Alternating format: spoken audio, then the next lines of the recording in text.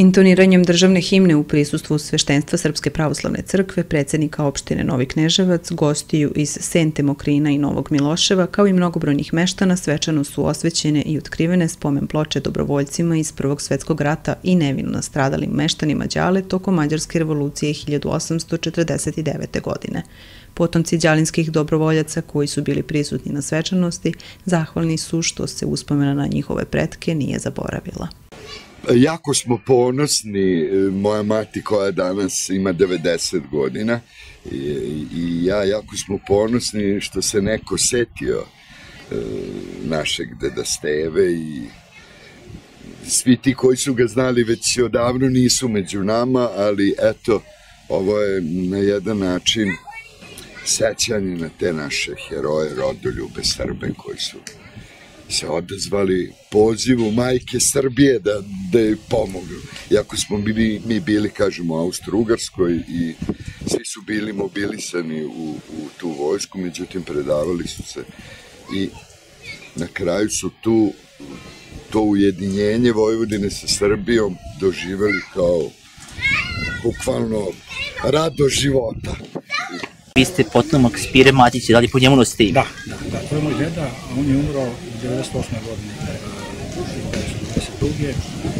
1914. Medina sam on i njegov godin dana stariji brat Mihajlo, koga nema dovoljno. Zašto? Treba poginuti Hrvatima, ja mislim da Spire je bio zarobljen u strane Rusa, odveden prvo u Moskvu, potom u Omsk, pa Tomsk,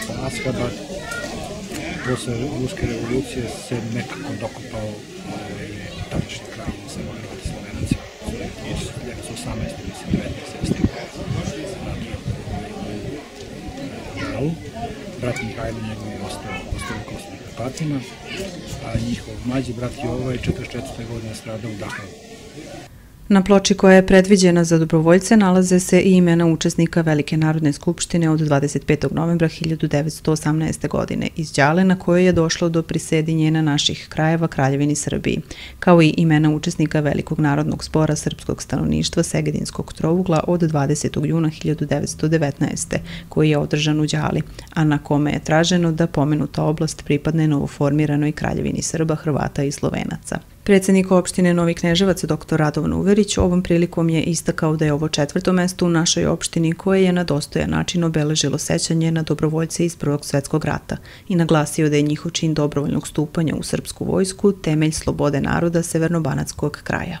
Ovo je deo istorije e, ovog kraja koji je bio e, dugo guran u zapićak, da ne kažem potpuno zaboravljen 100, odnosno više od 150 godina sa otkrivanjem ovih ploča. E, na ovaj način e, podsjećamo se te naše zaboravljene istorije, a koje treba da se koje treba da sećamo i koje treba da se ponosimo. E, mnogi